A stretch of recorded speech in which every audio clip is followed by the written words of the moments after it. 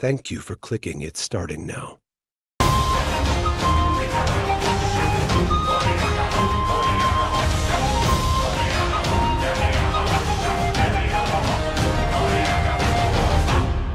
Hi, I'm Andreas Schmiedecker. I'm the producer of the game The Eternal Life of Goldman for THQ Nordic, and the game is being developed by Weappy Studio. The Eternal Life of Goldman is a breathtaking platform adventure inspired by ancient legends and fairy tales. It will take you back to this era of classic 16-bit platformers done in classic frame-by-frame animation, all done by hand. I would say the most unique thing about The Eternal Life of Goldman is this unparalleled uh, attention to detail with 2D art. So you probably have seen, you know, hand-drawn art before, but not at this scale, not at this level of detail, and done without any AI or um, generative methods involved to bring details to every little facet of the game.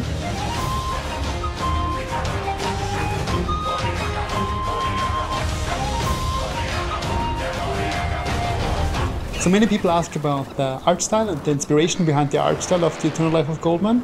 It is mostly classic animated movies and French-Belgian comics, um, mostly Hergé and uh, the Ligne Claire art style.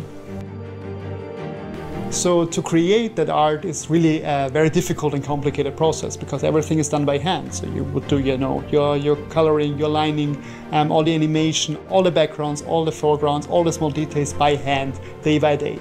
And it's really, you know, there's no other way of doing it in that level of detail. So it can take a lot of time. It can, can take up to months or even up to a year for a biome to be finished. Um, it is really intense and difficult, but we feel it's worth the effort in the end.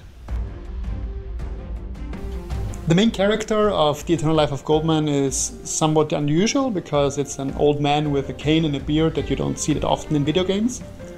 Um, he's a reference to um, you know these ancient fables and parables where you would often have an old man as protagonist who would be you know witty and outsmart his enemies but it's also very specific reasons within the narrative why he has that age and looks like that that I will not go into details because of spoilers. So I think we're most excited for players to figure out all the small details about the world and you know the story. So like there's lots of small little things in the animation, in the backgrounds and foregrounds that you can find and look for to tell a story. And just you know for players to figure it out, puzzle it all together, piece it together, um, that would be super interesting for us to find out. The main inspiration for the Eternal Life of Goldman are these platformers of the 16-bit era. And we hope the game will take you back to that era or, you know, will make you experience that for the first time. And it is really you know, this kind of side-scrolling adventure, but with the accessibility and the quality of life features of a modern game.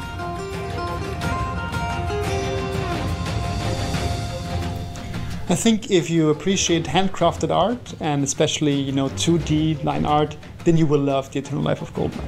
And also if you're a fan of classic platformers.